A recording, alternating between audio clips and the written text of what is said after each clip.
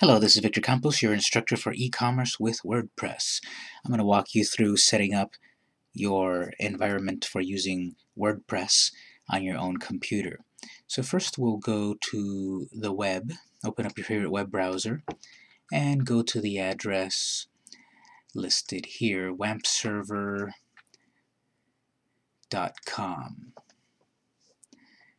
W-A-M-P-S-E-R-V-E-R.com. This is the software we're going to use, WAMP server. Now when you first come to the site, you might be confused that it's in French. Well, don't worry, at the top right we can switch to English. So once we're here, WAMP server, a Windows web development environment. And this will basically install a sort of web server on your home computer so that you can run WordPress so that then you could run an e-commerce site. So it's a free download. There's various versions of it. We'll just go with the last one listed, which in this case is 2.4, WAMP server 2.4. It lets you know that you might need extra software if it doesn't work directly, but give it a try first by clicking the first item, you can download it directly.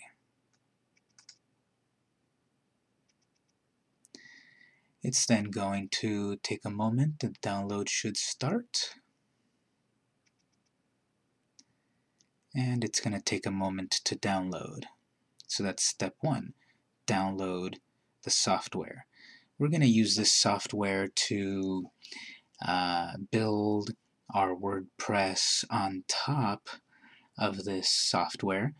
And uh, if you don't know, WordPress is a very popular, it's open source, uh, it's software that um, you can build a blog website, a full-featured website, an e-commerce website. It's free. And normally WordPress runs on a, on a server. You have to buy the server. You have to go to GoDaddy.com or some other company. But for the purposes of this class, we can do it from our home computer. Now the websites we're going to create here will not be accessible uh, by anyone else, just on your own home testing environment. So we've downloaded it. I'm going to choose to run it, to install it. So it's telling me what's about to happen. I'm about to install WAMP server. Good, I'll do next. Accept the agreement. The default installation location is fine on your hard drive, drive C, in a folder called WAMP. It'll take, it says, at least 298 megabytes. And if you want, you can create a desktop icon to access the software and install. Depending on your computer, it might take a moment or it might take a while so mine's going along pretty well. So once we've got all of this set up, we'll be able to run a web server off of our home computer and that way we'll be able to use WordPress and all of the capabilities. And you should either check if you have your own um, domain and hosting already, you should check with them what they offer you for uh, WordPress installation.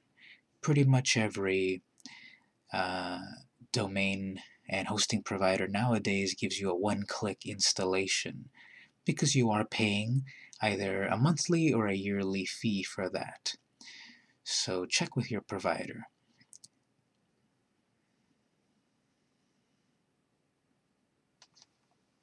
Okay, then it asks, please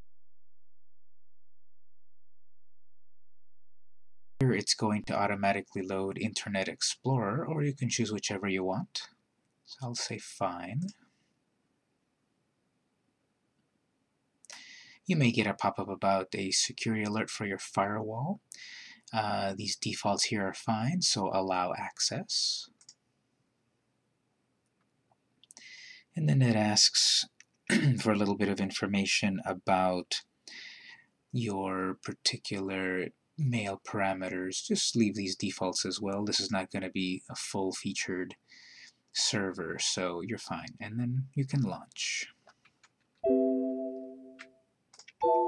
Finish. If you get any pop-ups, let them happen.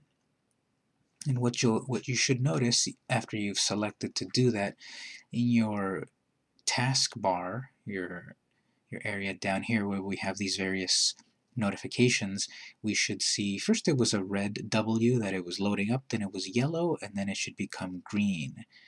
So green is what we want. Even if it says server offline, we should be okay.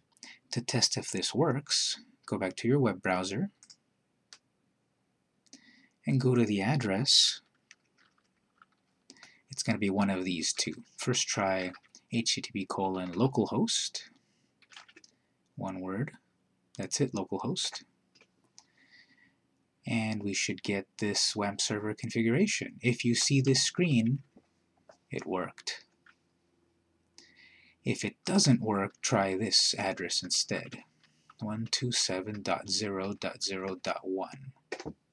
Both should show you the same thing. In either case, I've got WAMP server configured, and that's the core piece of software that I need to have installed in order to use WordPress. So stay tuned for the next video to next install WordPress.